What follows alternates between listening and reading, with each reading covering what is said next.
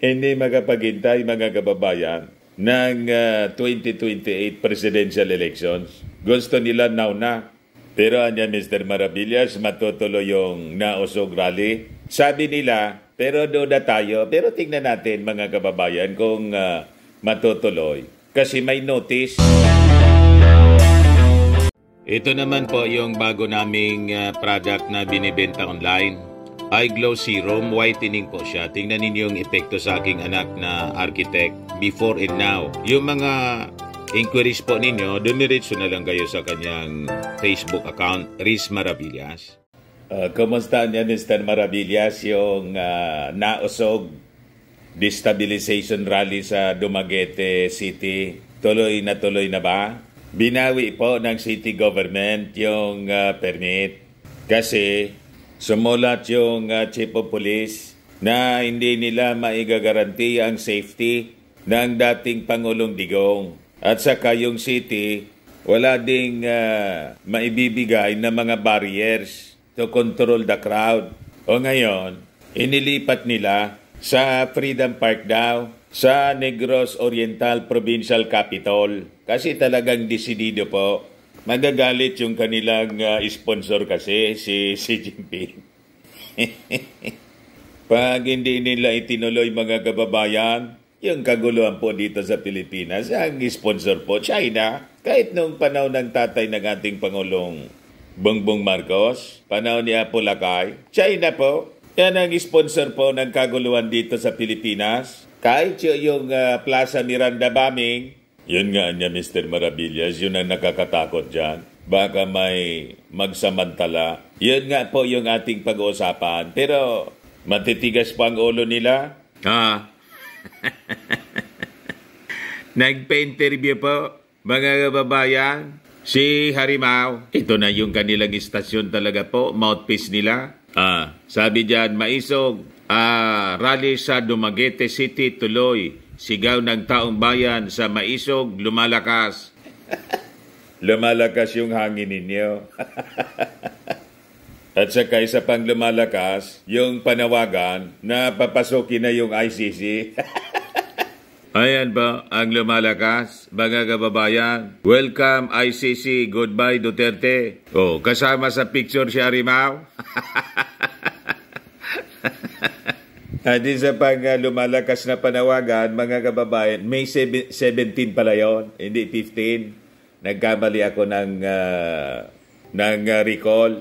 May 17, may rally, mga kababayan na isasagawa yung mga Marcos loyalist. Kapon, uh, yung uh, panawagan sa Senado po yon isinigawa. Nananawagan sa ating Pangulong Bongbong Marcos, yung mga Marcos loyalist, papasokin na po yung ICC para kalad ka rin na po mga kababayan itong nanggugulo sa ating uh, bansa ng uh, intensyon ikudita ang ating Pangulong BBM.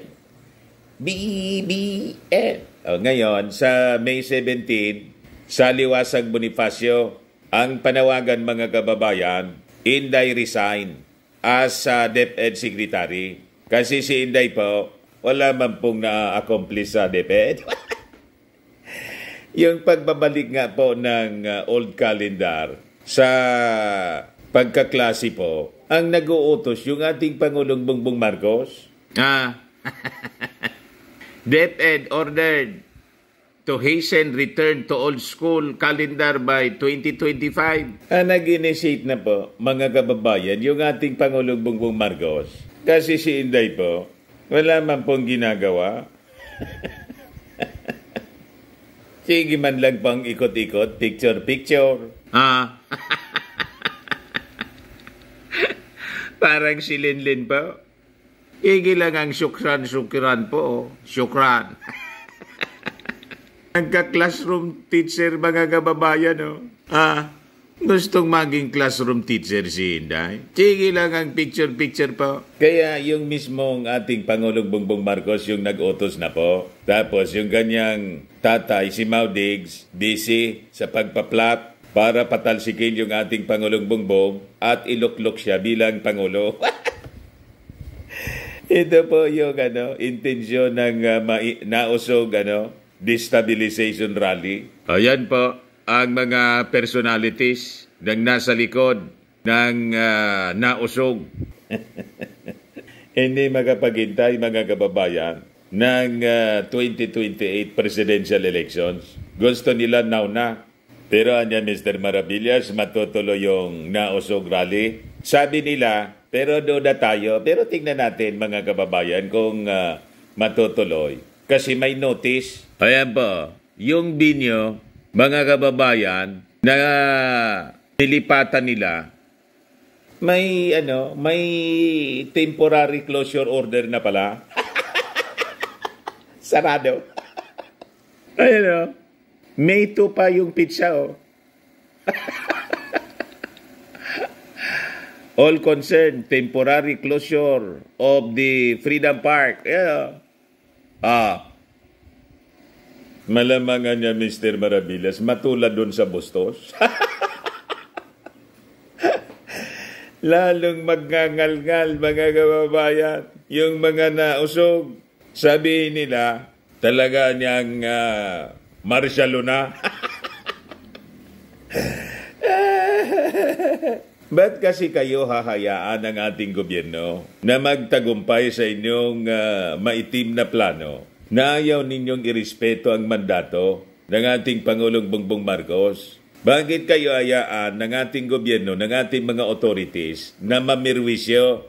Tama pa? But uh, before ko mga kababayan ibigay sa inyo yung full story ng mga balitang yan, uh, click subscribe muna dito sa ating YouTube channel and hit the notification bell para lagi po kayong updated sa mga kaganapan dito sa ating uh, bansa.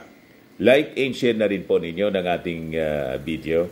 At huwag na rin po ninyo na skip yung ating mga commercial ads para tuloy-tuloy lang ang pag-unlad ng bagong Pilipinas. Sa mga naganap ng malinis in spaces fitness gym, pumunta lang po kayo sa aming Colossal Fitness Gym. We also offer Grab Car Rental with our brand new 2023 model ng Toyota Innova. We also accept booking for those who are planning to travel via PAL, Cebu Pacific, and other airline companies, local and international, and bills payment for Meralco bills, Aleco bills, PLDT, etc. Ang Colossal Fitness Gym is located at third floor Security Bank Building, Landco Business Park, Legazpi City, Albay. For inquiries, look for Chilon Maravillas. Contact number 0966 8020949. Yan po yung aming Innova. Lagi na pong matao sa amin. Yan po. Na-set up na rin yung aming mga bagong gym equipment. May treadmill na rin po kami. Yung mga bagong clients namin po, dagsa sila. Yan po. Eh, di ba ang ganda po? Sigang enroll nila po. Yan. Ito naman po yung bago naming uh, product na binibenta online. Eye Glow Serum, whitening po siya. Tingnan ninyo yung epekto sa aking anak na architect before and now. Yung mga inquiries po ninyo, dumiretso na lang kayo sa kanyang Facebook account, Riz Maravillas.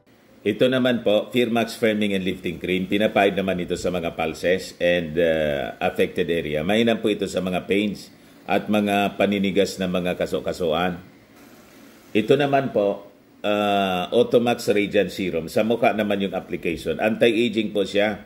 You will look 10 years younger than your age. Sa mga cancer patients naman po, baka lang gusto ninyo itong itry. Ning siya red mixed fruit drink. Hindi man po siya gamot, food supplement na po siya. Kaya mga kababayan, may sangkap siya na goji berry. Gawa siya sa goji berry mismo. Ang goji berry po, may anti-cancer properties. O yung mga inquiries ninyo, dumiretso na lang kayo sa aming messenger sa Facebook para masagot namin agad. Ayos pa? Ayos na ayos sa niya, Mr. Maravillas. So, pakinggan natin mga kababayan yung sinasabi ni Harimau sa interview sa kanya ng Seminay. Kung baga tuloy, kasi mamaya siya eh. Ay, ito po. I-play natin mga kababayan ang sinasabi ni Harimau dito. City uh, ang ang chief of police ng city po ay sumulat kay, kay Mayor Remolio at ang sinabi, una-una isa sa magsasansyong na maraming mga pula sa ating First Lady na sabi niya eh mukhang nag incite daw to sedition. Eh paano mag-incite sa, sa sedition? Eh hindi naman po public official ang ating First Lady. Wala. Yan yeah, talaga po, mga kababayan. Ano yon? Eh ngayon nga po, Didinggi na po, sisimula na po yung public hearing, yung investigation ng Senado o ng uh, Congress laban kay Pantaleon Alvarez. Kasi doon sa Tagum City rally nila, nanawagan siya sa Armed Forces at PNP na mag-withdraw na ng support. o ngayon, Pinala ng reklamo po sa Ethics Committee ng uh, Congress. O, ito siya ngayon, mga sabi rito. The allegations are very serious. The committee has uh, gi- given him 10 days from receipt of the order for him to answer the complaint filed by Tagum City Mayor Ray Uy. During our initial consideration, we found that uh, the OI complaint was sufficient both in form and in content as well. His remarks, referring to Alvarez's remarks, were dangerous, libelous, and seditious, both in appearance and statements. Tapos, pwedeng matanggal mga kababayan si Pantaleon. Dahil sa kanyang uh, ginawa, mga kababayan. Kaya nga po yung tawag natin dito sa Naosog, destabilization rally kailangan tawagin natin na destabilization rally kasi ang intention talaga nila is to destabilize the government. Ginagatungan po yung armed forces, kaya lang hindi man sila pinapakinggan. Alangan man ipahamak ng armed forces na officials yung kanilang mga sarili. And they are uh, highly professionals, mga kababayan. Ba't sila maniniwala sa nakapintanil po? Di ba? Ituloy natin yung sinasabi dito ni Harimao po siyang mandato, wala naman po siyang opisina, no? Hmm. Hindi po siya public officer, nagkataon lang asawa siya ng presidente. At matapos yun ay sabi nila, hindi raw sapat ang kanilang mga kapulisan para bantayan ang ating dating presidente Rodrigo Roa Duterte. Yan man talaga, hindi man sapat. Alam naman na uh, ubusin na lang yung ano, yung uh, PNP personnel para lang i-secure yung dating Pangulo na hindi man nakakatulong sa ating uh, bansa Bagkos, ang ginagawa, nanggugulo, o di secure niya yung sarili niya. ah, di ba? Isabi ko nga mga kababayan, ang masama nito, ang nakakatakot po kung may magsamantala, tulad ng uh, Plaza Miranda uh, rally, meeting di Abansi po, na binomba para guluhin mga kababayan yung uh, ating bansa at yung uh, Plaza Miranda bombing, as you know, isinisi po sa dating Pangulong uh, Marcos para gatungan nga po yung galit ng mga mamamayang Pilipino. Ayon, nang uh, imbestigahan mga kababayan, pagdating ng panahon, na-discover yung nasa likod pala po si Juma. eh ba yung report dito? Philippine News Agency unmasking the sinister mind behind the 1971 Plaza Miranda bombing. Ah, i-share ko sa inyo mamaya. Oh. August 19, 2022, sinulat po, mga kababayan. So yan ang danger dyan. Kung may magsamantala, nadama yung mga civilians. Tulad mga kababayan na nangyari doon sa Plaza Miranda bombing. Kaya kung ako sa inyo, yung mga taga Dumaguete City, ayan ninyo itong si Maudigs. Matanda na rin po. At yung mga kasama nila, mga mayayaman sila, may impluensya, at malamang may mga dumadaloy sa kanila galing sa Beijing. Ikayo na nakiusyoso lang o kung hindi, nadala kayo sa mga propaganda, nonsense rhetorics nila, tapos pumunta rin kayo doon, nakiusyoso. What if nadamay kayo sa kaguluhan? Kasi baka infiltrate po ng ano, ng Beijing tulad ng ano, nangyari noon alam ba ninyo na nasa likod ng kaguluhan dito sa ating bansa? Ang sponsor po, Beijing. Eh, sabi rito, ibigay ko sa inyo itong uh, istorya po. Unmasking the sinister mind behind the 1971 Plaza Miranda bombing. Uh, sinulat ni Priam ni Pomuseno, August 19, 2022. Published by Philippine News Agency. Result ito mga kababayan ng thorough investigation of the incident noong 1971. Plaza Miranda bombing. Isa siyang political rally. Ito man pong maisog uh, rally na tinawag kong nausog, destabilization rally, it is a political rally po. Nang intensyon nila, iloklok ang uh, vice-presidente, patalsikin yung Pangulo, iloklok ang vice-presidente na friendly sa China. No comment.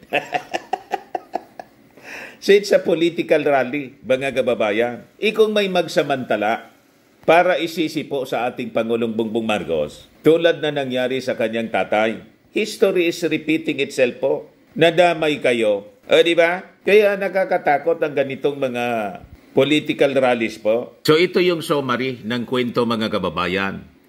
Unmasking the sinister mind behind the 1971 Plaza Miranda bombing. O sabi rito, former ranking security officials through the years have consistently belied the denials made by Communist Party of the Philippines founding chair, Joe Masison, that the mastermind, uh, that he masterminded the August 21, 1971 Plaza Miranda bombing in Quiapo, Manila that left nine people dead and 95 others wounded. Alam ba ninyo kung uh, sino yung isa sa mga wounded dyan? Si Joby Salonga, dating uh, Senate President po. Na inaikwento ko na sa inyo uh, several uh, times. Noong ako nasa mainstream pa, yung nagkandidato siya for president pong natalo, Liberal Party. Kalaban niya si ano, 1992. Ang nanalo noon si si Ramos. Pumunta si Joby Salonga sa estasyon para siyempre nangangampanya, pa-interview sa amin. Yan ang ugali ng mga politiko. Nagre-radio hopping sila. Ako yung anchorman kasi primetime uh, program, 7.30 in the morning, primetime slot po ako. Nakita ko si Joby Salonga nang pumasok sa announces boss. Uh, yung kamay niya, uh, putol-putol yung mga daliri. Sabi ko, Mr. President, kasi ganun yung tawag namin pag uh, kandidato, tinatawag na namin pagka Pangulo. Pangulo na. ah, di ba? Pero Senate President siya noon. Ano ikako nangyari dyan sa, kami, sa kamay mo? Ba't putol-putol?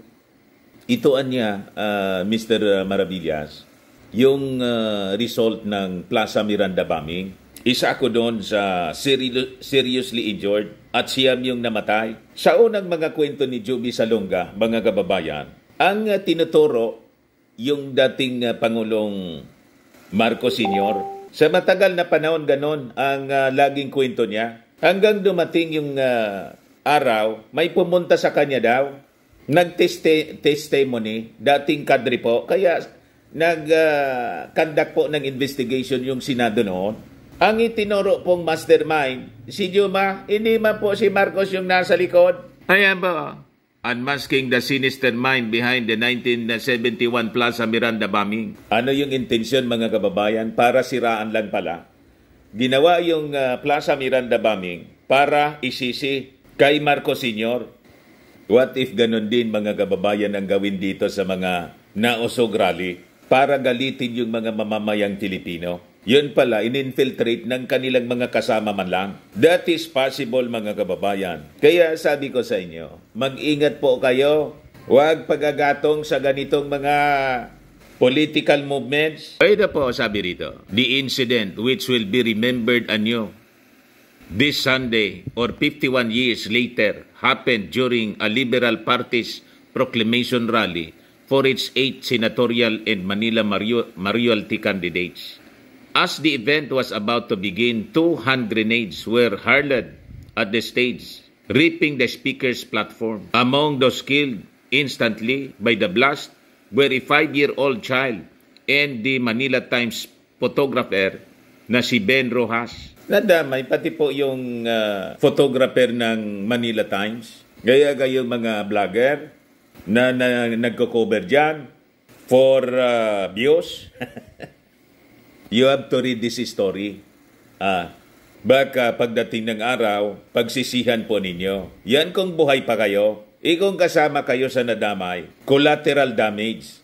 Wounded were uh, then Congressman for Palawan Ramon V. Mitra Jr., then incumbent senators Job Obito Salonga, uh, siya po yung nakausap ko, na-interview ko. Eddie Ilarde, yung uh, si Kuya Eddie, TV personality, Eva Estrada Calao, Liberal Party President, Gerardo Rojas, Sergio Osmeña Jr., Lawyer Martin Isidro, who served as Councilor, Vice Mayor and Congressman of the City of Manila, Ambrosio King Lorenzo Jr., who served as the 2nd District Councilor of Manila, and Ramon Bagatsing, the party's mayoral candidate for Manila. Salonga was among those seriously injured. The blast left him blind in one eye and deaf in one ear.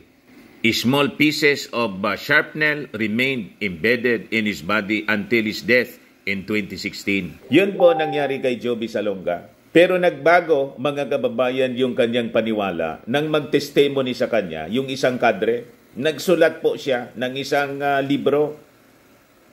Isinalaysay niya kung ano yung uh, totoong nangyari after na madiscover niya po ang uh, totoong kwento. Nauna, sa paniwala nila, ang uh, brain ng pambubomba po, si Marcos, tulad po ng assassination kay Ninoy, ibiname po kay Marcos.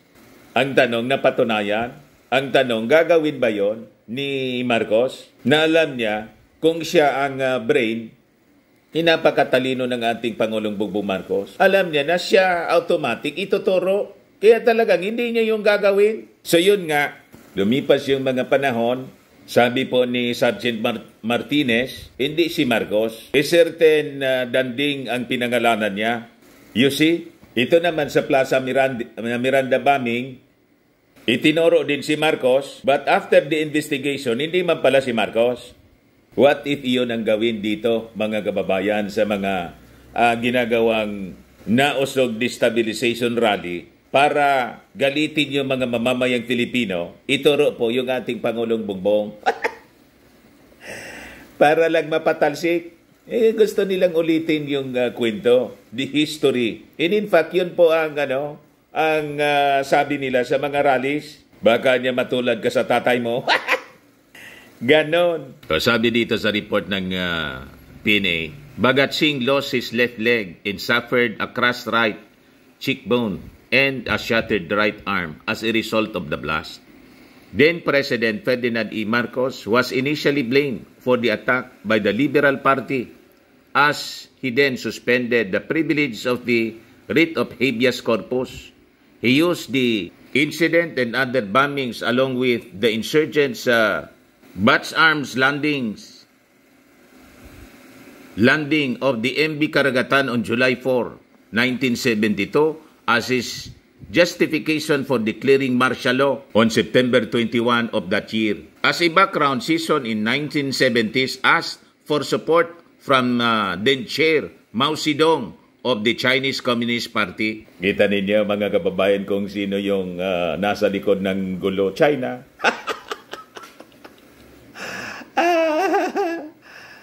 History is repeating itself. Mga kababayan, si Mao Zedong ang nasa likod ng uh, kaguluhan dito sa ating uh, bansa. Armed conflict and political conflict. The intention po is to weaken our ano, our country. Kasi pala may intention dito sa atin. Kita ninyo, yung susunod na mga leaders nila, iniintensyonan yung ating bansa. O ngayon, si Harimau, kaya tawag ko sa kanya, Harimau, Maudigs. Kasi nasa likod China eh. Now you know kung bakit ganun ang tawag ko sa kanila. Si Harimau pabalik-balik sa China po. So naintindihan na ninyo kung bakit si Inday po no comment. so sabi rito sa balita, Military reports indicated seasons emissaries negotiated for weapons including M16 rifles, ammunition, and heavy weapons This report said China also supplied about 1,200 uh, M14 rifles, bazookas, mortars, communication equipment, and medical kits. China was said to have denied the CPP NPA request for a submarine prompting Fidel Agkawili, Season's personal uh, emissary, to go to Japan to acquire the Kishi Maro, a 91 ton, 90 foot uh, steel hulled old fishing uh, trawler. China agreed to pay for the boat, which was renamed MB Karagatan. On the latter part of uh, 1972, the ship loaded with weapons departed from Fokien and sailed for Digoyo Point in Palanan, Isabela. Ngayon, si Victor Corpos, dating uh, militar po, na nating, naging uh, rebelde, sinabi ng interview, pwede ninyong ano, isearch sa YouTube, Victor Corpus. Si Joe niya yung nasa ang uh, mastermind para uh, i-blame niya kay Marcos. Oh, you see? Ayan po, sabi niya dito. Corpus alleged that Season deployed the cadre responsible for the attack in an interview in November 1986 and an and the autobio, uh, autobiographical prologue of his uh, 1989 book Silent Silent War. He claimed to have over, overheard some CPP leaders discussing the attack shortly after it took place. Corpus uh, said Season believed that an attack on the opposition will be blamed on Marcos and his government. So nakita na ninyo, mga kababayan, ng background story ng uh, Plaza Miranda bombing. Hindi po ako may gawa ng kwento nito. Ah, Philippine uh, News Agency ang uh, nagsulat at based ito sa testimony ni Victor Corpus sa interview niya po, interview sa kanya, at based doon sa lumabas sa investigasyon po ng uh, Senado noong panahon ni Joby Salonga. Ikinikwento ko ito sa inyo para hindi na po maulit ang history. Kasi lagi po tayong may kasabihan, history repeats itself. What if yun din ang gawin dito po? Mga kababayan, sa mga nausog ano, rally, madamay kayo na mga sibilyan. Tama po? Concerned lang po ako sa inyo. Kahit kayong mga DDS, kapwa natin Filipino.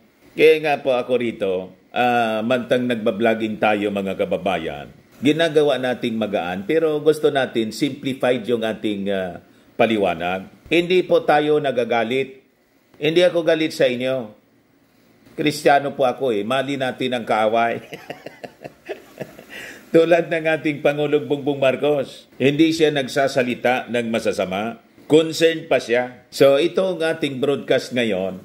Uh, ginagawa natin kasi concerned tayo sa inyong safety. Huwag ninyong ikagalit kung halimbawa i-cancel siya ng ating uh, gobyerno, ng ating Pangulong Bongbong Marcos. Nililigtas kayo sa kapahamakan. Baka maulit na magsamantala po ang mga, uh, alam niyo na, Inasa eh, likod nito China eh. Para gatungan po ang gulo at uh, patansikin yung ating Pangulong Bongbong Marcos. What if may mangyari tulad ng Plaza Miranda bombing? Uh, tapos na kayo, collateral damage kayo. You'll become part of history ng uh, violensya po na walang kakwenta-kwenta. Sayang po. Dapat tayo po mag-unite against the excesses, the aggression ng China. Hindi yung uh, nangyayari, kumampi pa kayo sa China, ay, ito po. Paryente po ito. Pinsan ito ni tito niya yata si Joby Salunga. Eh, si Arimaw. Ah, di ituloy natin yung sinasabi niya rito. Taliwas sa karapatang pantao na mapayapang magtipon-tipon para ilabas ang hinaing sa gobyerno dahil sangayon po sa desisyon sa isang kaso na ako mismo tumayong abogado para sa petitioners ang IBP versus City of Manila ay ang tanging dahilan po para mapagbawal ang rally eh kung mayroong clear and present danger. Ayan po. Clear and present danger. What if may clear and present danger? Diyan po sa Dumaguete. Biglang i-infiltrate po. Ang dami pong mga spies na rito, yung uh, China. Di nga natin alam, baka kaos, uh, laging kausap nila. ah, di ba? Mga barkada nila, yung mga Chinese. Inong panahon ni Digong po, pati yung uh, Philippine Coast Guard po, na-infiltrate na mga Chinese nationals, ginawang mga ginawang mga opisyal, auxiliary brigade. Yan po. Controversial enlistment of 36 Chinese nationals by Philippine Coast Guard Auxiliary Unit can be traced to softer past stance on Beijing. Na-infiltrate po, pati Coast Guard. Paano ni Maudigs? So wag ninyong ikakagalit. Halimbawa ganito, uh, yung nangyari, binawi ng Dumaguete City ano government yung uh, permit. Kasi ma po, ang rason ng uh, Chief of Police, hindi ano, insufficient yung kanilang uh, police force to secure the former president. Tama? O ngayon lumipat sila ng Binyo Freedom Park. Eh, sabi, sarado. What? Ito po, May 2, 20, uh, 24, all concerned, temporary closure of the Freedom Park. Pursuant to Section 21 of the Local Government Code of 1991 and uh, in preparation for the upcoming centennial celebration of the provincial capital, it is hereby declared that the Freedom Park shall be temporarily closed to the public for maintenance and rehabilitation purposes. Banggagalaiti na naman anya nito Mr. Marabilla si Harimau at si Maudix. Nililigtas kayo sa kapahamakan. Baka may mag-infiltrate, magsamantala, manggulo para i-blame sa ating Pangulong Bongbong Marcos. Ang uh, mandato ng ating gobyerno is to maintain peace in order and uh, to serve and protect. Di ba yung gano'n ang uh, slogan po ng uh, PNP?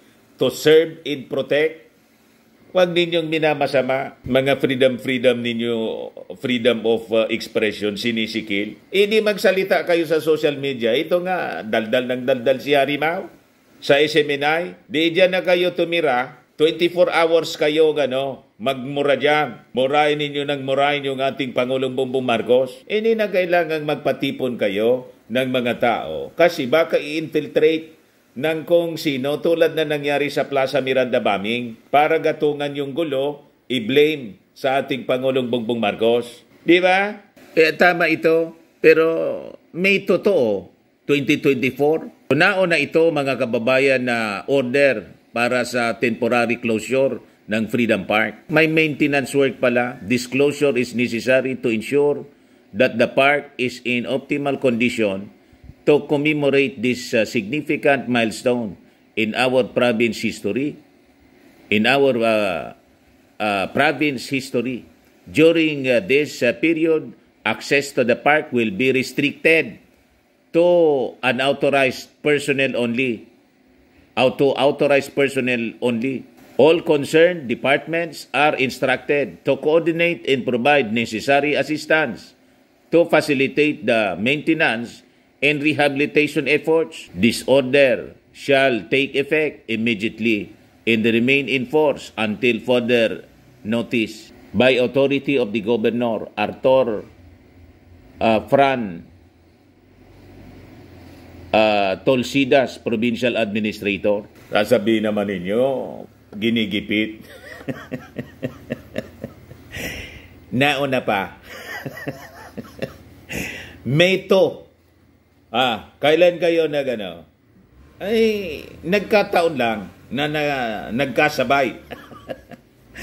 Di kaya niya Mr. Maravillas uh, intentional? Iyon ang iisipin nila na talagang plinano para sikilin ang kanilang uh, karapatan, karapatan para sa malayang pamamahayag. Anong sinisikil kayo? Daldal kayo ng daldal dyan sa ano? Sa SMNI? Mga libelos na nga po? ang mga pinagdadaldal ninyo dyan? Ano? Yung mga sinasabi ni Harimau? Ang kapalpakan po ng pulis na hindi nila raw ma-secure ang dating Presidente Rodrigo Roa Duterte, hindi po yung clear and present danger. Kapalpakan po yan dahil dapat lahat ng pulis ay laging handa at hindi naman po kinakailan ng maraming proteksyon ng ating dating presidente dahil siya po ang pinakamahal na opisyalis ng ating bayan. Mr. Pinakamahal na ano? yung ating Pangulong Bongbong Marcos ang pinakang ano, mahal. Bakit? 31 million yung bumoto sa kanya. Eh si Digong, 16 million lang. So doble ang pagmamahal ng mga mamamayang Pilipino sa ating Pangulong Bongbong Marcos as, as compared kay Digong, eh si Inday yan Mr. Maravillas, 32 uh, million plus. Ang 31 million yan ay mga Marcos loyalist. Ibinoto si Inday kasi siya yung piniling ka-unit team ng ating Pangulong Bongbong Marcos. Kung hindi siya ibinotong uh, piniling ka-unit team ng ating Pangulong Bongbong Marcos, malamang uh, talo si Inday. Eh nga po, hindi niya tinuloy yung Ransarara, nag-vice president na lang po. Kasi alam niyang matatalo siya ng ating Pangulo. BBM. BBM. Tama pa? Kaya hindi, hindi po ito totoo na sinasabi ni Harimau na uh, pinakang mamahal. Po siya, President. Most hated siya ng mga mamamayang Filipino ngayon, lalo na ng mga Marcos loyalist na siyang bumoto sa kanya noon sa pagkapangulo noong 2016 kasi ah, hindi siya nagtanaw ng utang na loob sa mga Marcoses, sa mga Marcos loyalist, yung kanilang leader, yung pamilya Marcos mga kababayan, yun na yung sinisiraan ni Mau Diggs. frontrunner pa nga para sa Senado kung bukas ang gagawin ng halalan, no? magna number one pa yan. Maniwala kami dyan. Malamang uh, Beijing ang tag-sponsor ng mga survey ninyo. Tama po mga kababayan? But anyway, uh, tingnan natin kung matutuloy, magpipilit sila despite the closure order. Temporary closure order po ng Freedom Park. Kasi po, under ano, maintenance. Ayan man lang po mga kababayan. Ako po si Dante Maravillas. Bye-bye. God bless.